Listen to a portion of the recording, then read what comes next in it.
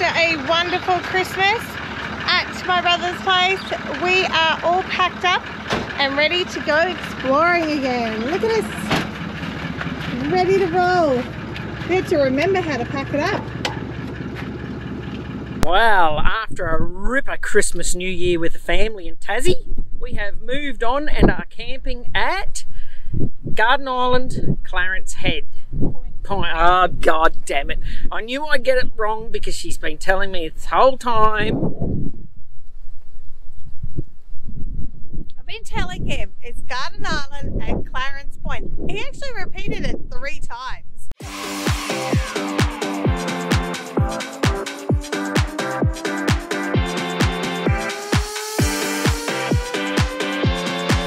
Right, as I was saying, we are at Garden Island, Clarence Point. I've been telling my wife that the whole time. She's been telling me. But it's a beautiful little free camp. Check it out. Keep it on me. Okay, more like this. Check it out. Great little spot. Not a lot of trees. Uh, it does get windy, but wow, that's part of camping. We're loving it because the sun's shining in Tassie and it has been much worse weather. So we're going to sit here and watch some boats come in. We were saying how many boats are going to come in today, how many we're going to see. Hopefully we see at least one, which I reckon there's one out there. Maybe some more, but we're going to enjoy the afternoon of relax, free camp, Garden Island, Clarence Point. Put it down. So, Garden Island, Clarence Point. Put it on your list. Free, great spot. Check out the ships coming in. You can do some fishing, watch fishing boats. And We're loving it. Loving life. How good is it?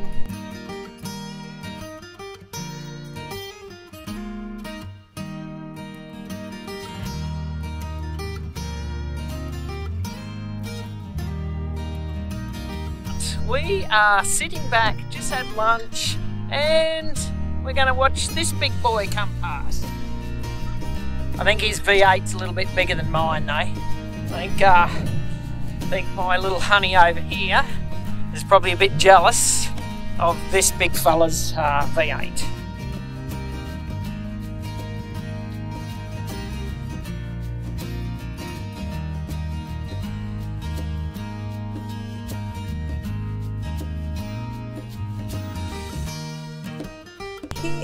Hoping that I can actually capture a nice sunset today in Tasmania. I haven't been able to capture a good sunset the whole time we've been here, and we have been here over a month now. So we're looking good. It's right out there, not a huge amount of clouds. So let's see how we go. I'll put the time warp on. And once again, my sunset is gone. Look at it. Look at it. Clouds come in. Take away my sunset. Rude. Tasmania, I want a sunset.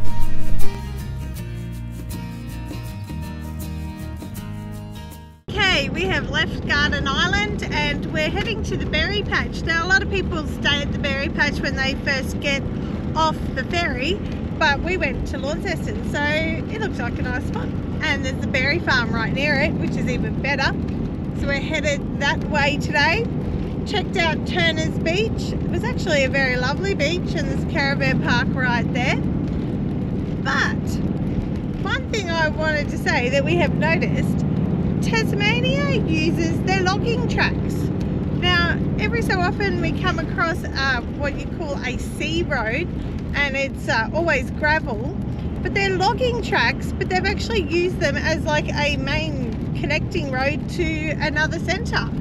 So this is the one we're on now. Yeah, forestry or roads and that, they're actually pretty good. Yeah. Quite smooth, a little bit of corrugation on some we've encountered, but so far, I think these main ones have actually been really good. And like these ones are, are well used. Like we just passed several cars, so they're not just a random track Google sent us down. They're obviously tracks that people use a lot because there's only so many certain main roads and yeah. That's right. They did. There is a sign that did warn us that there could be logging trucks on there, so we're just taking it easy. just poking along, doing 55 at the moment. But probably better so- than some of the roads in New South Wales at the moment, I would say. Yeah, take back everything I just said about their roads. Holy fuck! We just went up a mile, but not only that, it was as corrugated as all crap. And Cain's always said to me, it's okay, like second gear, we'll just crawl up. No, no, we jump back to first it's gear. so bloody corrugated, we're just bouncing like a son of a bitch. Ah, yeah, okay. I don't know if I like these roads anymore. Tasmania? Good news is we got to come down it. Yeah, maybe going an extra 20 minutes around might have been better. Well, it was an interesting uh, little drive from our camp last night at Garden Island across to the berry patch at uh, Turner's Beach, I think it is. Um, $10 a night. We've got two nights here because we want to check out Devonport, probably check out the penguins tonight and just have a bit of a look around before we hit a Sunday sesh with uh, Lifestyle Pioneers out at a uh, little farm stay they're at, which looks awesome. Uh, this is us in the background. Check it out. We uh, just went for a bit of a wander yonder down to uh, Turner's Beach, and just on the way there, we found that. How good if you were a family. Back when we were camping, we wouldn't have got past here with our two boys because they would have spent their whole time here. Trucks. They love trucks. And they're just trucks there to play with. Trucks. So, well done to whoever left all the trucks there.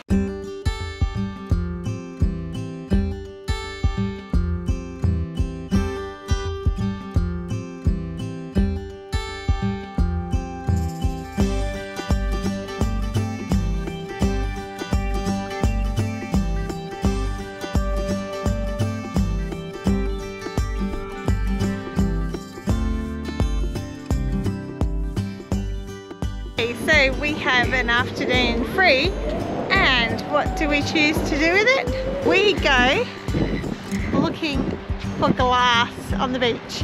This beach is full of rocks, not glass. What do you reckon, Cain? Oh, we find some rocks. Yeah, I like the glass because they're pretty colours No. and they're cool and smooth. Note to self, when find pretty rock with stripes on it, don't lick it off the beach because it's very salty. Look at Cain. It'll taste nice. Lick it. Come on. not licking it. Why not? Because it's salty. Good for your salt intake.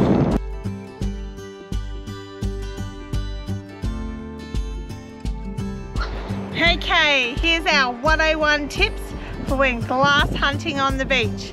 Number one, open your eyes. You're not going to see anything when they're closed. Number two, it depends which way your shadow is because if you're walking and your shadow is in front of you, it's a whole lot harder to see the glass. So if you're walking with the shadow behind you, much better. Uh, do we have a tip three, Cain? We'll come back to you later with tip number three. We are at Button Beach in Ulverstone and we walk along the beach looking for glass. So we didn't take the GoPro this time because we No. didn't think we'd see anything. No, so another good reason to get glass is have a look at all this U-Butte glass. Lovely, we get some nice little pieces in there. Yeah, look at this is my favourite. I found that right at the end. Oh, Oh, now he's now we're dropping dropping glass everywhere. But another reason we collect the glass is that's what you find on the beach, so we're cleaning up the beach too. Yeah, that's all just That's right. broken glass. It hasn't gone. You won't It's hear beach. that. That's all broken glass that we find on the beach. So people are playing, running all on the beach, and there's all this glass on there. So, you know, one way we're picking it up for us, getting some good things, and we're also helping the uh, people, the environment, and everything, getting glass off the beach. So what's the difference between the two? One's been rolled over by all the rocks and that in the ocean, so it's got rounded corners and doesn't cut you, and it actually looked kind of nice. Hold it up a bit. I can't see it. Yeah, so it looks quite good and nice. It's a bit Yeah. beaten. It's good in jars, whereas the other stuff is uh, sharp and can cut you and Yeah. yeah, that sort of stuff. So we're at Lillico Beach, going to check out some little penguins tonight. Hopefully a few come in. They said there was about 100 last night and uh, we can photography these fellas. Obviously you can't use flashes and all that stuff. Um, much more relaxed, relaxed atmosphere than uh, Phillip Island. And yeah, we're confident we're going to see a couple of penguins. Beautiful evening. It's an absolute ripper evening. So yeah, hopefully we're in for a real treat because there's a baby down there. There is a baby. It's pretty cool. Well, it's a big baby. It's, it's not little. Yeah, it's like a full-size bloody penguin. Yeah, I reckon it, mm. it's getting ready to go. Yeah. But good news is it's right at the top of the hill, so it's going to come out and barrel every single penguin that comes up here. Which is pretty fun yeah, to watch. Which is awesome to watch. It's all about the sport of tackling the incorrect parent. to get food it run down the beach and in it's gone. there he is. What is a rakali? Which is like a, a native water rat. Oh, okay. Uh, they're found all down the east coast. Um, and they love, um, they really love like the, the sea, shellfish and things. So they're, they're out on the rocks. You're finding them! Okay, somebody? Oh, hello.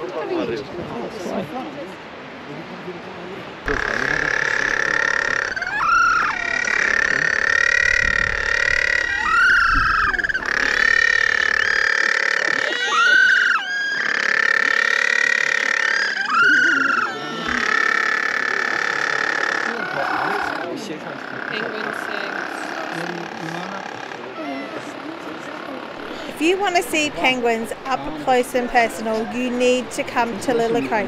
It is free to come and see them. They do have a donation box, but another way to keep your camping cheap, find these free events. And look, we are so close to these penguins.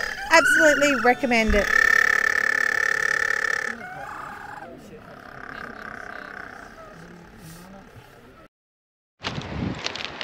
So we've spent a nice little day just relaxing around Penguin, just to walk along the beach, had lunch there at the cafe, which was awesome. And now we've sort of just driving along the coast road between Penguin and Ulverstone. And how often, to be honest, I've never actually seen a railway line right along the coast. Nice scenic drive along the coast, railway line, and we are at the Three Sisters Goats Nature Reserve just checking out some of the rocks. I just walked across the railway line because I'm naughty. And uh, yeah, check out uh, the low tide views of the coastline on the north here. Pretty specky. Rightio, my good peoples. We were cooking the other day on our gas cooktop, which we love. Absolutely love this gas cooktop. But if it's windy, it's a pile of shit. So it's really hard to cook when it's windy because it just keeps blowing the flame away. Yes. And took us forever to cook our dinner the other night. It took, took over an hour, probably nearly an hour and a half for the veggies to boil. And then the sausages didn't really fry. No, we, we just really couldn't get them hot enough. They'd sizzle and then the wind would blow and we tried to surround it and everything. But, you know, these things happen when it's windy. So we bit the bullet and we have purchased a induction cooktop. A June it is from uh, Anaconda. I think it cost us $70 on $70 special. on special. So to be honest, the power we used with the gas or the amount of gas we used to try and cook dinner, we would have saved in buying this thing here. I so it, you know, it will actually save us in gas on windy days. Yeah, now now look, we don't have the huge um, battery bank and solar system and all that that uh, can keep it going because it's only a small hybrid van so 200 lithium oh 200 amp hours of lithium and 300 watts of solar with uh, external inputs I can put in as well so probably another 250 if I really wanted to. But if we cook during the day or while we've still got sun on this even if it's windy we can cook dinner home and hose work like a treat and yeah, like personally, even if we have to on a yucky weather, turn the Jenny on for half an hour to cook tea, I think we'll save money. Yes, it's not so much saving money. It's just we'll have tea. Actually, we'll have tea at a decent That's time. right, rather than huddling around to try and keep the gas going. So we do have a microwave. We can reheat stuff, but it's just the other night we just left where we were going. We had to cook something because we didn't have anything, and the wind was just howling, and yeah, it was just difficult for us. So induction cooker works a treat. Pan's still hot because. Uh, I've been uh, trialling it out, but it boils water really quickly. So you, you do need induction um, pots and pans when you use it. So ones that can handle that, not your aluminium ones.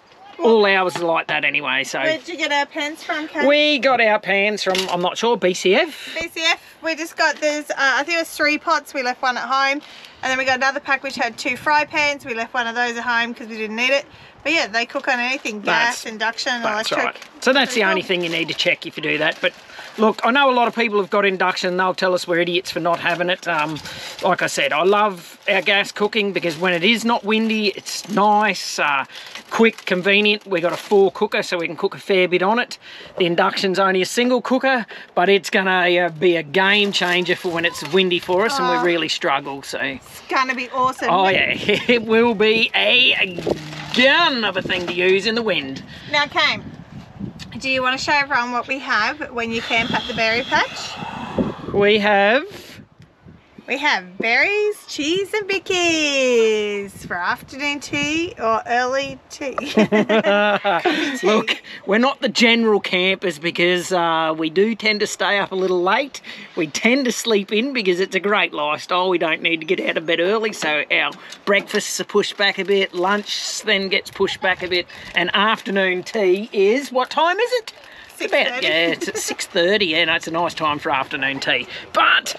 Daylight saving, the sun's still well up in the sky, so yeah, we utilise all our daylight.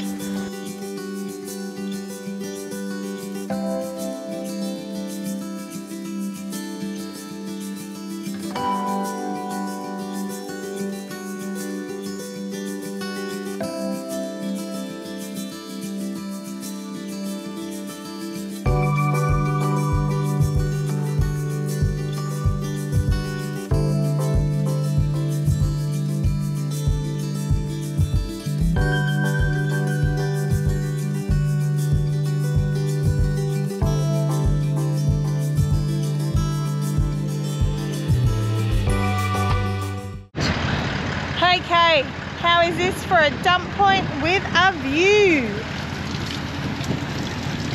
Check that out, and the view while you're emptying the toilets. Sweet. So we left the berry patch this morning, great little campsite, $10 a night, and we have come to the Gnomon farm stay, I think it is, or Gnomon. Um, don't ask me how to spell it, silent G or N, not really sure. But it's an awesome little campsite here. He's opening up some camping. Um, big barn in the background, so they're having a summer festival today, which will be awesome. Uh, Wolfe Brothers actually playing here next weekend, so we've got to come back for that because it's a big country music festival check it out. And these legends here, Simon and Liz from Lifestyle Pioneers, are off in the background. They sort of invited uh, everyone to a Sunday sesh, so we thought we'd come along, say good day again. Uh, met them before on our travels, and uh, it'd be great to uh, hang out with them too. Nobody wants someone who's naughty. Eating all my strawberries.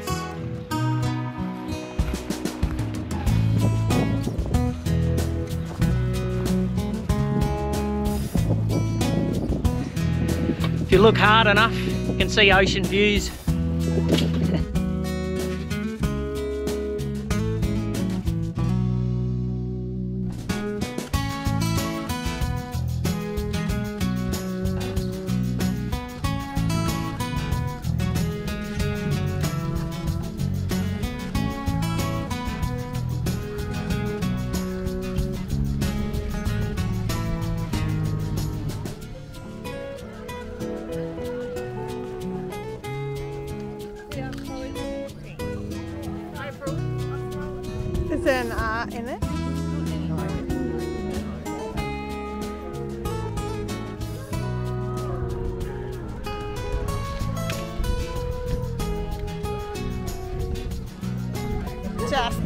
Doing a of the, what is it, the summer. Mount Gnomon Farm.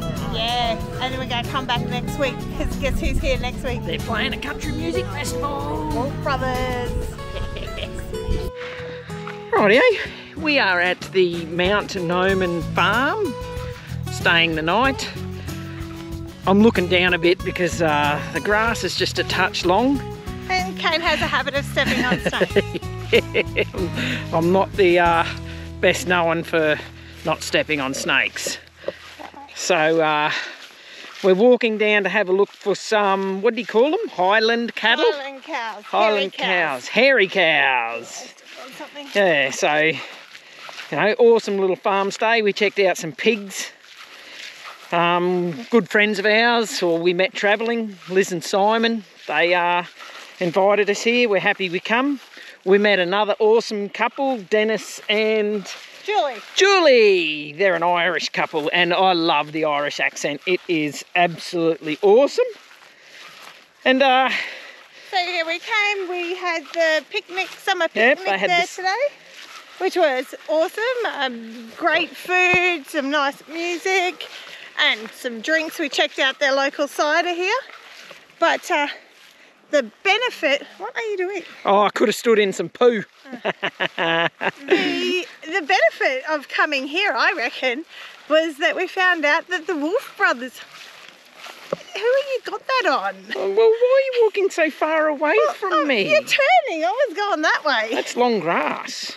Okay, sorry, get back to that. The benefit of coming here, other than we get to catch up with all these guys, was that we found out that the Wolfe Brothers are going to be here next week. So guess who's coming back to watch the Wolfe Brothers? Ah, Number one country music fan. that would be us. So, yeah, loving this farm stay. 20 bucks a night. It's actually pretty good for what we get. And uh, yeah, we're really enjoying it. Now we're just going to go and look for some of these uh, hairy cows. Highland cows, but hairy cows. We actually can get to see the ocean in the background too, so check out.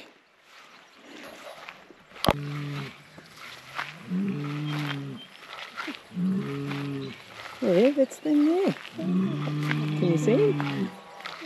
Hey. you're a big boy. Eh? I don't know if you're his. Know you're a big boy.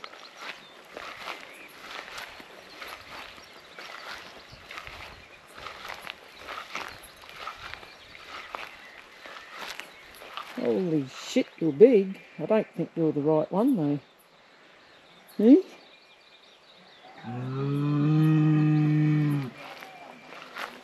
Yeah, I'm going to follow the fence. It's got a path along the fence.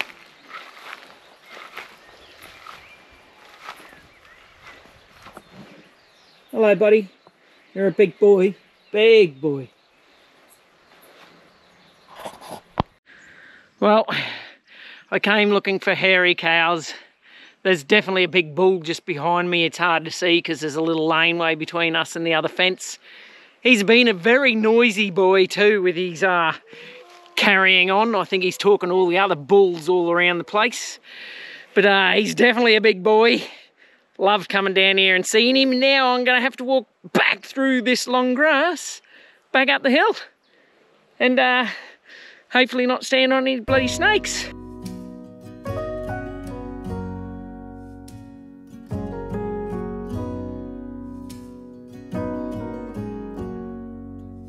If I wrote you a song, if I got every word perfectly thin piece of paper, would it make any difference? Would it change for the better if I wrote you a poem? If I posted a letter?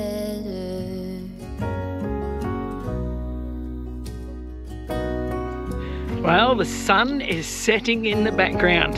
We've been in Tassie for, ooh, how long have we been in Tassie? Month and a half. Oh yeah, and we've seen very few sunsets. So having one nice clear sky like this is uh, pretty uh, specky for us. Check it out.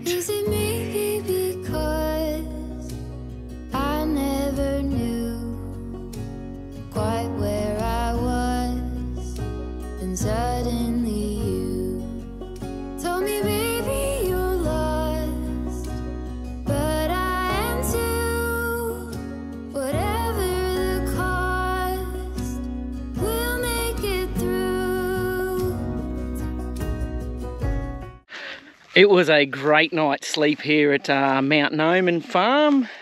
We had a really good uh, evening sit around the fire with uh, Liz and Simon from Lifestyle Pioneers and Dennis and Julie, great Irish couple. Not very uh, on the socials, but yeah, awesome guys to hang out with, with some ripper stories. And we're going to head off today, probably to, I'm not sure, Stanley Way. We'll just see how we go, where we get to. We'll be back next weekend, obviously, for a uh, country music concert festival party. Well, Mount Gnomon Farm, we just did a little tour and it gets the thumbs up approval. Yeah, it's pretty cool. That's right, 20 bucks a night. It's an awesome little spot to camp out the back. We had some great company and yeah, loving it. Yeah, farm life. The dogs came, slept under one of the caravans. So, Yeah, yeah, sheep, there's pigs, there's a veggie garden. And Guy, the owner, is pretty awesome. He Come down is for a chat. So. super great. Well, North Tassie is the place for low cost and cheap activities. Tell you, we can't wait to head to Northwest Tassie and see what else we can explore. Come next week and check out our adventures.